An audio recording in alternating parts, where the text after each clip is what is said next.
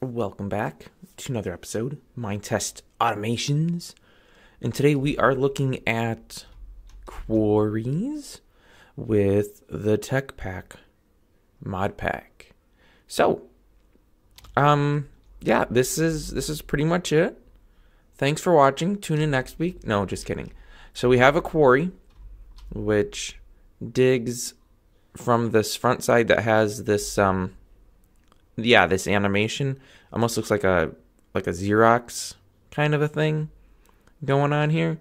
Um, and it digs a five by five square starting the node directly in front of this. So uh, yeah, you basically count two spaces out, or three spaces out rather, and then two spaces out from there to get your five by five square. So yeah, it's like this.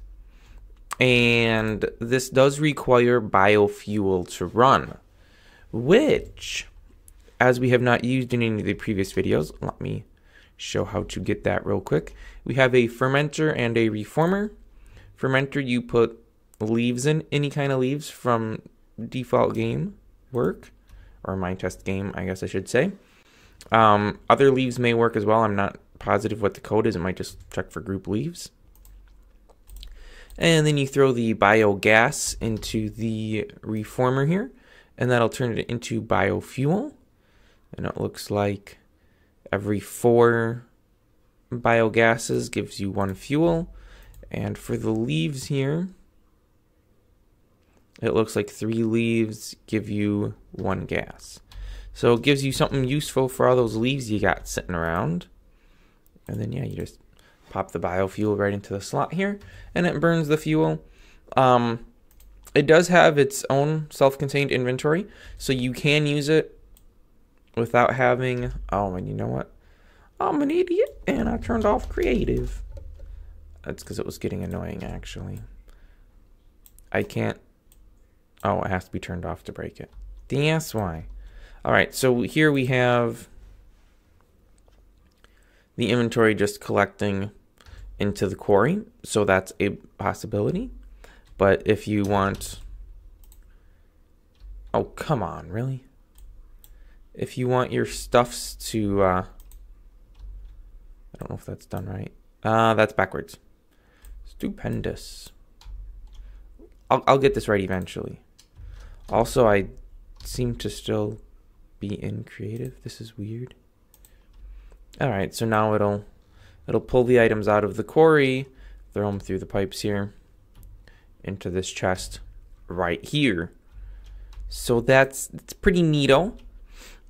Um, yeah, let's take another look at the quarry. So we have the start level. Um, and this is at what point it starts digging. Negative one is the node that would be right here. So this node is negative one. Oh no. See, I must have creative on. But I disabled creative. Maybe world setting has it on. Whatever. So,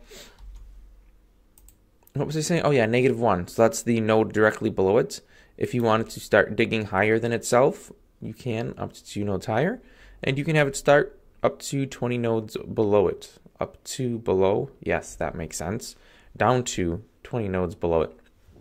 Um, you lose some granularity as you go deeper. Uh, I didn't want to do that. And then you have the digging depth of how many nodes deep it should dig before it stops. You max out at 100. You can use this, I was reading, as a automated cobble generator somehow. Um, I'm assuming you just put a row of lava like here, and then water on the opposite side, and then as they join together in the middle, they create cobble. And then you would use a start level of whatever height that happens to be at with a digging depth of one. So it always just redigs the same portion. Uh, I didn't try that because I don't know who would possibly ever need that much cobble. But eh, if you need it, the possibility does exist, evidently, to do so. Now, of course, I mean, this is lame, right? So what it would make sense to do is um, we're going to stop this. We're going to break this. we're going to put this in. We're going to do quarry here. Um, wait, what do you mean pair is missing quarry? It's right here. It's literally right here. Pair is missing quarry.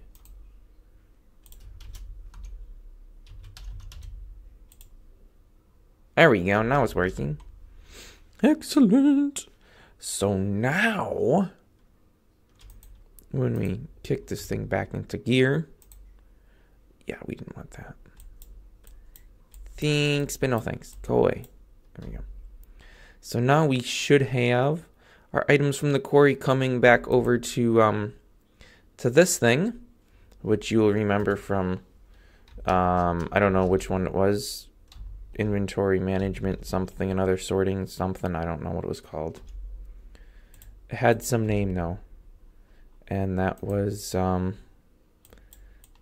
that was all this stuff. And we should be able to um Oh yeah, because I, I broke that. Okay. Actually, this should still work because we should be able to put it into the chest and then have the puller take it out of the chest. Excellent. Has this thing received anything yet? I have a feeling it may be broke. Uh, where's my, here we go. Do I have the mover on? The mover is not on, that's why it's not working. There we go, so we got some cobblestone and some silver sand, and I have a feeling this might be broke. No, that looks right. Is the, is the Wi-Fi thing broke? The Wi-Fi thing is broke, that's why. Alright. So it needs to be this way. There we go. I hope the other one's not broke. Better check that real quick. Cause it's it's very possible. Oh no, that looks that looks that looks right. All right, so now we should have stuff incoming. Hey, what do you know we do? We don't have silver sand going anywhere. Let's rectify that real quick. Also, let's turn this on. So now we have, I don't know what yellow was. Was yellow the garbage? No, it wasn't. Good, perfect, excellent. So now we have our sand. Ah, perfect. Going there. We have our, our cobblestone coming into here. And yeah, that's one way of tying it back into the system. Of course, another way of tying it back in would be just to run the pipes, you know, all the way over or build the sorting system closer to the quarry. But doing it like this is nice because it gives you one centralized location where you have your whole sorting facility and everything. And then wherever you put your quarry up, um, and of course you could omit this whole line of pipes and just shove the the pair here right next to this. I don't know why it's saying it's blocked. It literally was just working. What is going on here? It literally just worked fine.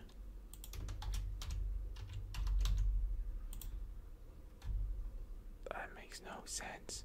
But there we go. That is that's quarries.